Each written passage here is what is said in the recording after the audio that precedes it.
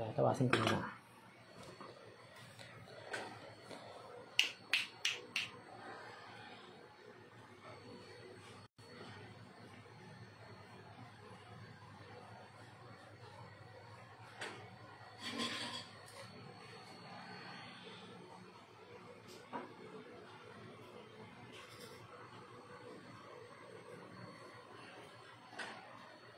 Ayan. So dito, ayan, makikita makikita yung anyo ng, ta- ng isang babae. Yan yung palda niya, yung damit niya, yung shoulder niya, at saka yung ulo niya. Then dito, makikita natin yung isang puno, isang puno na naputol dahil doon lumipat siya dito. So, gan- ganyan yung nangyari sa bahay. Dali, ipakita ko lang po kayo dito. May ito po, oh. Ah, dito, ayan yung ayan yung dress niya, ayan yung damit niya. Ayan yung damit niya, ayan yung ulo niya, ayan yung ah, shoulder niya, ayan siya. So, isang babae na spirito, spirits, inkanto na, na nanggaling sa isang putol. Ayan, makikita natin, oh, yung, ito yung ugat ng puno, ugat ng puno. Then dito, putol siya. Mula sa putol na puno, may lumabas na isang spirito isang engkanto na nakatira doon sa naputol na malaking puno na ngayon ay dito tumira sa bahay ninyo. Yan. So, ikakat natin to. I-cleanse natin yung bahay, yung area ng bahay para ma uh, natin siya makontrol.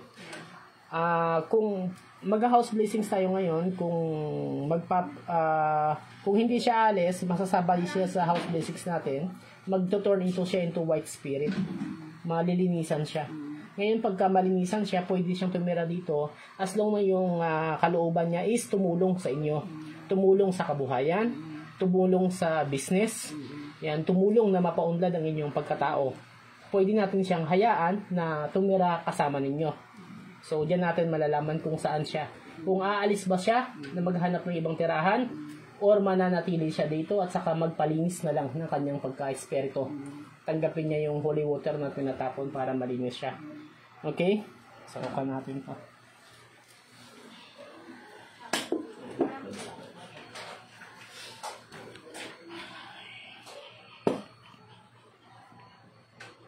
Kasama rin yan, mga sakit-sakit.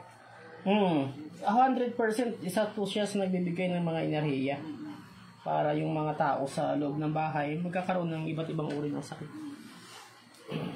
Dali, tignan ko lang yung incense. Sige lang, dali. Saan yung... Ito, incense. Ah, ito na.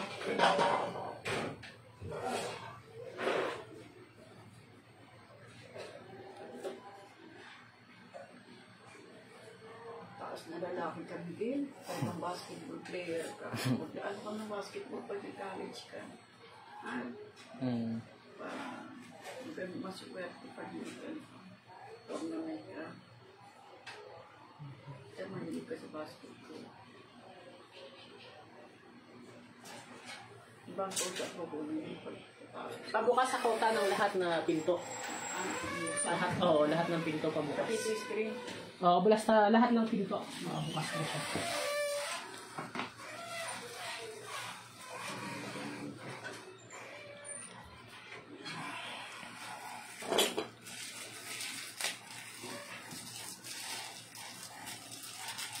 Grabe ang tipid ng insenso dito sa Manila, no? Ang liit. Magkano po to? Piso? Di ba ikaw din mo ayaw ng Opo. Hmm. Baka kulang pa, papabili pa ako. Sige lang, okay lang. Yung itim na insenso, yung itim po na ganito, bawal po to gamitin sa house blessings dahil ito ay nagdadala ng negative na energy. Kung house blessings po yung gusto nyong gawin or gusto nyong positive na enerhiya, yung ma mabuo ng, ng usok, ng amoy, dapat yung gamitin nyo ay yung ah, gold lang, yung puting insenso. Wag yung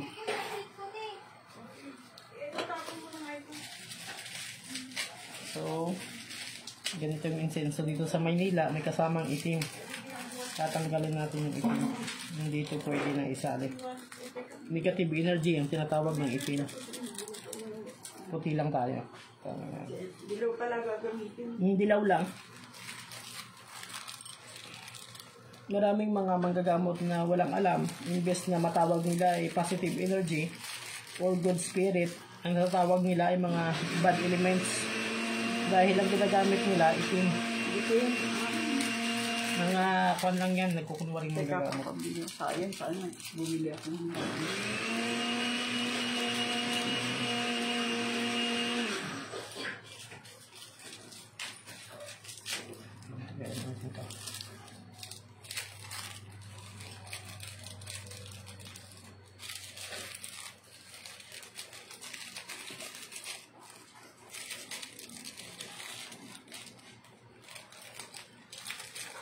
Ilan pa, alo? Hindi, okay na to. May okay na to. Hindi, okay na.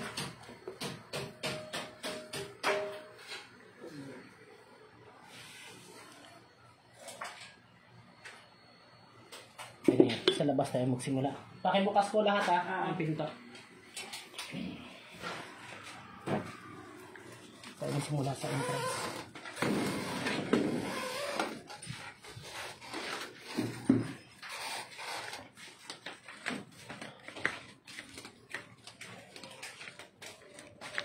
Okay na po dyan. Okay na.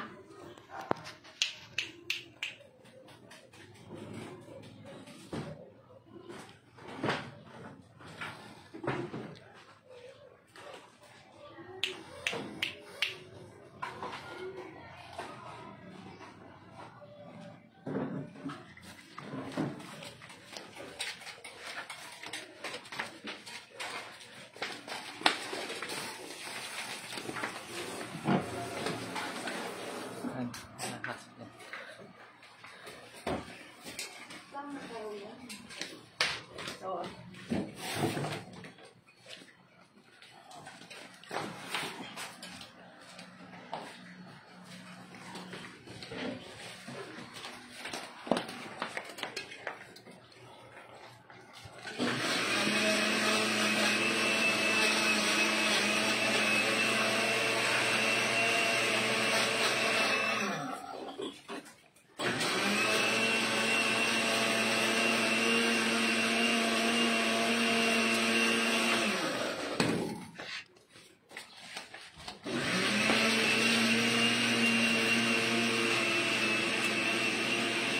Ito yung puno na pinag Isa, dalawa, tatlo,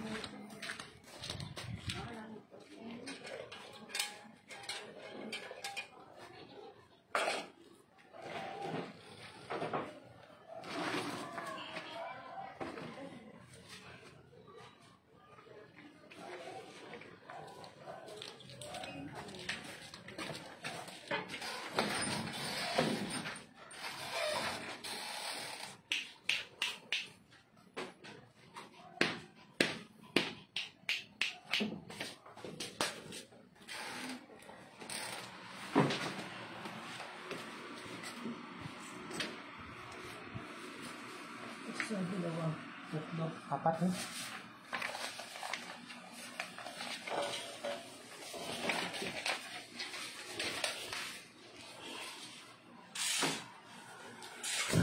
Tatawasin natin ulit ulit kung ano yung ginawa ng spirits.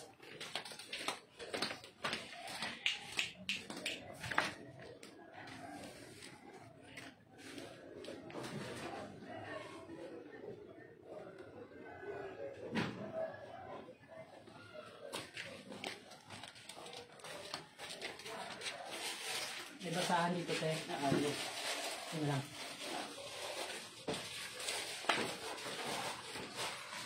So, tignan natin ulit.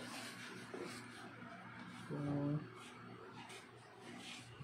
ano yung lalabas sa pang after basing.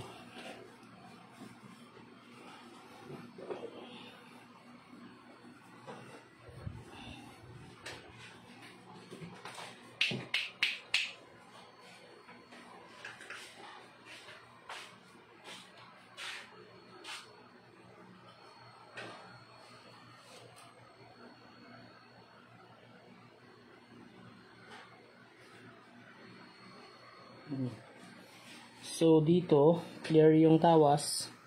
So, pinili ng spirits na ah, lumayas, na lumayo sa lugar. Ta, ne, pumi, pumili niya na umalis. Ah, malis na. Mm. So, dito wala. Pin- mas pinili niya na lumayo. Lumayo na lang. So, hallelujah, yung area mo ngayon ay clear. Malinis siya. So, hoping na ah, ma-maintain natin to sa magitan ng paglagay ko ng mga banal na salita sa bawat sulok ng bahay ninyo. So, okay na to. So, itong blessings na to, hallelujah, sa ngalan ng Diyos, Yahuwah, at saka bugtong na anak Jesus, Yahusha, ay isang successful na blessings.